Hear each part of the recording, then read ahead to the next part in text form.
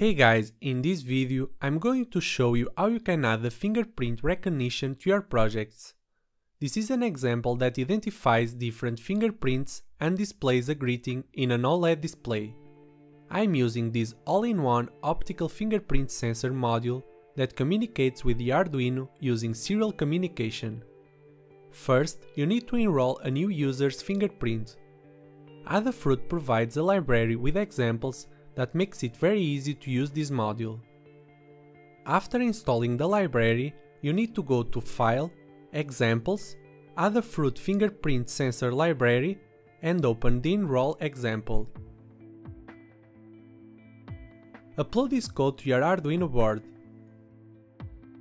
Then, open the Arduino serial monitor at the baud rate of 9600. Follow the instructions to enroll a new fingerprint. First, you must type the ID number that you want to save this fingerprint as. For example, if this is your first enrollment, type 1. Then, place your finger on the scanner twice to add your fingerprint.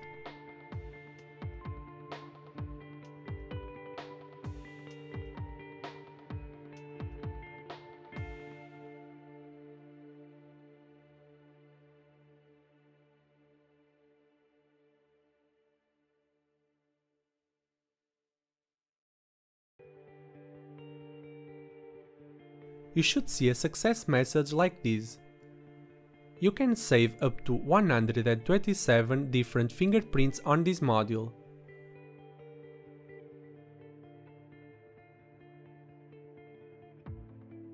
Now, wire an OLED display to the Arduino and upload the code provided in the project page with the right changes to associate a name with a fingerprint ID.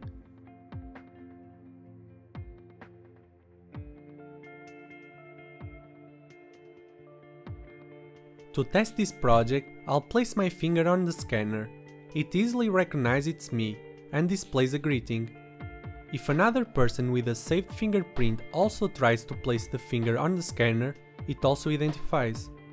However, as you can see, sometimes the sensor has a hard time identifying the fingerprint if you don't place your finger very similarly to when you've saved it. I've noticed that the sensor works better if you place your finger slowly on the scanner. In summary, the fingerprint sensor module works quite well, and it's an affordable way to add biometrics recognition to your projects.